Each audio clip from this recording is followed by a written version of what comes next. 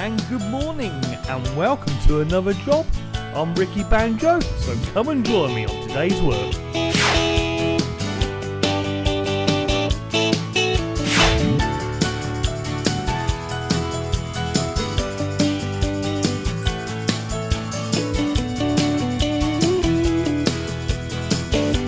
Oh dear, look at the state of this. This hasn't been cleaned for a few years, but today we're going to get it looking like new.